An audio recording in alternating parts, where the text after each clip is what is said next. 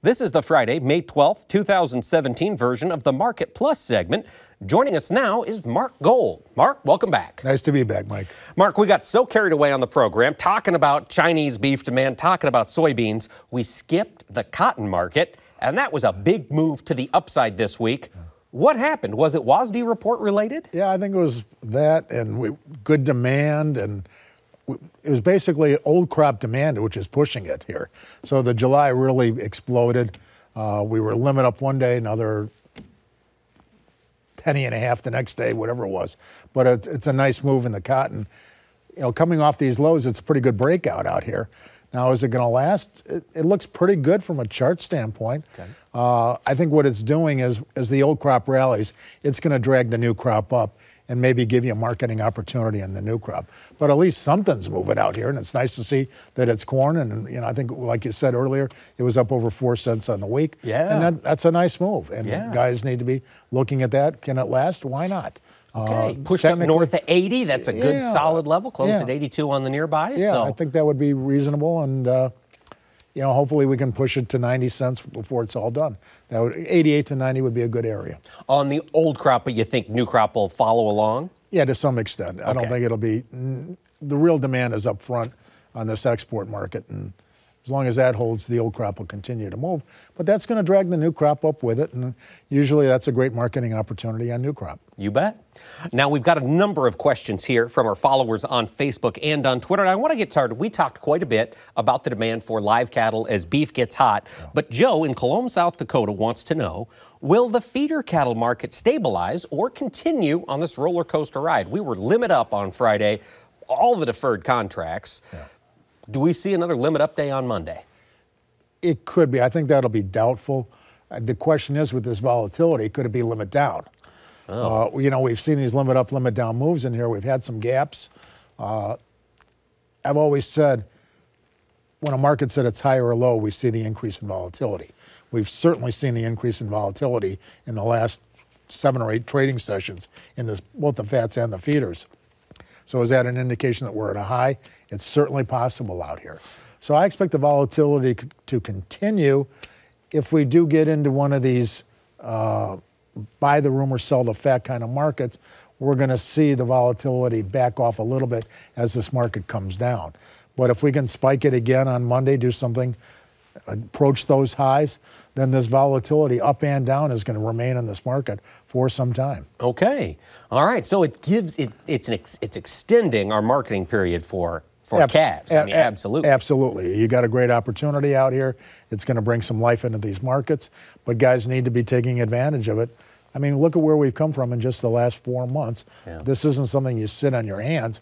You know, I was in Idaho uh, last week with a group of bankers, and I said, you know, when this meeting's over, it's not the time to think about telling your clients to do something. It's the time to pick up the phone and call somebody and say, hey, have you looked at this market? Let's get some puts, or let's sell some cattle, let's do some futures, or buy some calls against it. But now is the time to do something. You know, I didn't know it was going to be the limit down the next day, but the fact of the matter is, there's there's things that can be done, and we've had a nice rally. The puts are cheaper today than they were yesterday. Take advantage of it. And you make a good point. We were limit down or almost limit down early in the week, limit up or almost limit up end of the week. You know, There's that volatility. You know, we're seeing these five cent ranges in the feeder cattle market, which is exactly what we saw the last time we peaked. So I think you've got to be very careful in here. Uh, but again, this Chinese news, it's been anticipated, it's yeah. here. If we can react past Monday or Tuesday to the positive side, there may be another leg up in this market. Right. So we don't want to just be naked short futures out here. If you're going to sell futures, buy some cheap out of the money calls to back it up. Uh, if you can sell the cattle, sell the cattle, buy some calls, or at least spend the money and buy some puts. All right. Our next question is from Craig in Iowa. And Craig wants to know he says, the corn market doesn't know what it wants to do. You talked about the 20 cent range we've been in for seven months now. Yeah. He's asking, is this pattern going to continue well into summer? Boy, I hope not. uh, you know, we really love the volatility. We like taking advantage of market movements either way, up or down, and protecting our clients. The market moves down, we can take money out of puts. The market moves up, we can sell cash. We love the movement. Uh, particularly at these low prices. You know, if we were at eight dollar corn, I wouldn't have a problem staying up here. But we're not at eight dollar corn. We're at 370, 380 corn, and that's an issue out here. I don't see it lasting. We're heading into the summer months. I've always said that since 1973, we've had at least one opportunity to market corn and beans at profitable levels. We've seen that opportunity already in the bean market. We had $10.5 beans out there, but now can we get it in the corn? I believe something's going to happen, whether it's the fund short covering, whether it's some hot, dry weather scare, whatever it's going to be, we're going to have at least one opportunity. Certainly, we hope we take it out to the upside. And the market looks like it's trying to form a base. But if we have benign weather, June and July, this market's heading south pretty quick. Given the, the factors that we've already got plugged into the corn market, I mean, we know that exports are starting to slow down. We saw that this week. Uh, we, we are planning on slightly fewer acres. How much farther do you anticipate the corn market has to move to the downside? I mean, basically test those 318 lows from yeah. 14 or 13, whatever that was? I think that's a reasonable target. Okay. Uh, again, the funds are long. Are they going to go to 250,000 short contracts? Maybe they do. Uh, I don't okay. see it going beyond that. And who's going to who's going to push it beyond that? Right. Particularly if we get some of this old crop out of the farmer hands, and there's less incentive to push this thing lower. Okay. But again, if we have a great growing season, we know how much corn the American farmer can grow. It can be burdensome. You know, I'm hoping something positive happens, particularly on the demand side with the Chinese or somebody else, that'll take this market and, and go with it. On the other side, if we get any kind of a real weather scare, I remember in 1983, we made our stone low on June 30, June 29th, the day before the final acreage number at 598 and a quarter in the beans. We rallied three and a half dollars in the beans in the next six weeks. We rallied the corn a buck and a half or a dollar eighty after being on our lows. That was because it had it had rained all month of June, stopped raining on June 1st, started to get a little warm, and then over the 4th of July weekend it was 100 plus and off to the races we went. Hmm. So it's not too late by any stretch of the imagination. You know, we're just get, we're just getting the corn planted, let alone in the growing season. Yeah. So there's a lot of things that can still happen out here a good friend of mine from Iowa, Dick Hines, called me and said, you know, don't forget, plant the beans in the mud, the crop's a dud. And there's certainly been a lot of mud out there, so we'll have to yeah. see. Yeah, all right. Our final question comes from Merrill, and uh, Merrill's on Twitter at Price Help. Merrill says, and it's a two part question, so I want to get your take on both. Merrill says it looks as if the economy may move into a recession, and how, do, how would that event affect the ag market? So let's ta- tackle that first half. Do you feel as if we're setting up for a recession? You know, I've heard talk of this recession creeping back in, that maybe there's going to be a real estate crash or something else. Unemploy- we're almost at full employment yeah. according to the economic, even at 4.4, they're considering that full employment, considering where we've been out here. So I don't see that as an issue. Interest rates are still low.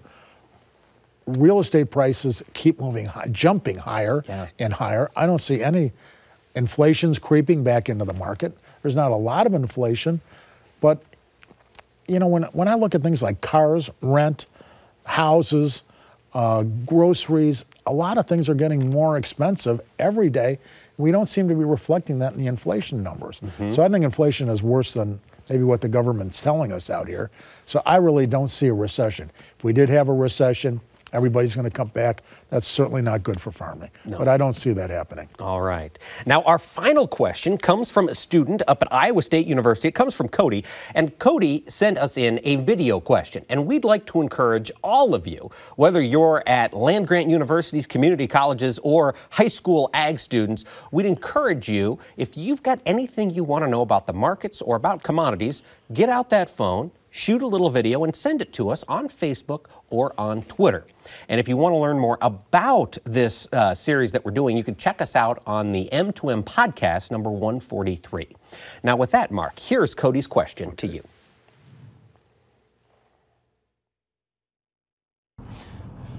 So, what are the advantages of using futures? Well, short and sweet question. One second. Okay. All right. What are the advantages of using futures? The advantage of using futures, first of all, I'm not sure if he's saying over options or over something else, or whether he's saying not doing anything and then adding futures into it. I'm assuming he's saying not doing anything and adding futures into a marketing right. mix. And there's certainly a huge advantage in that. You can lock in prices when you have profitable opportunities. You can lock in using a futures contract to lock in those profits and to know where you stand. Now, granted, it doesn't take into account basis, and basis is going to vary widely around the country.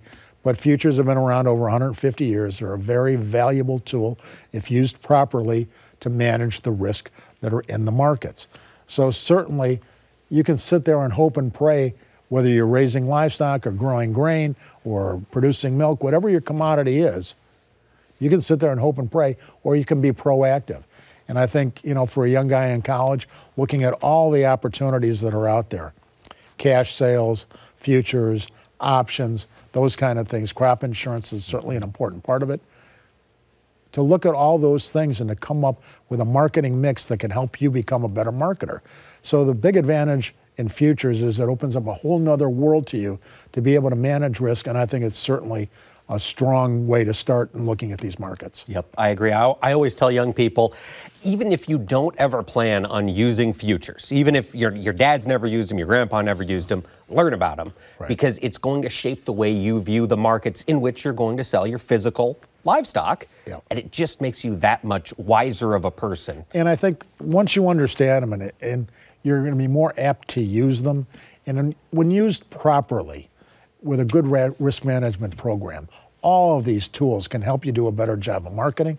And we know the American farmer can grow it. The problem has been selling it. And any tool you can put in your tool belt to help you do that, I think is a good idea. That's the truth. Well, Mark Gold, thank you so much Thanks, for taking Mike. the time to join us. Thank you. Join us next week when Don Roose will sit across from me here at the Market to Market table and we'll learn how one pork producing family is cultivating fans in Japan. Until then, thanks for watching or listening. I'm Mike Pearson. Have a great week.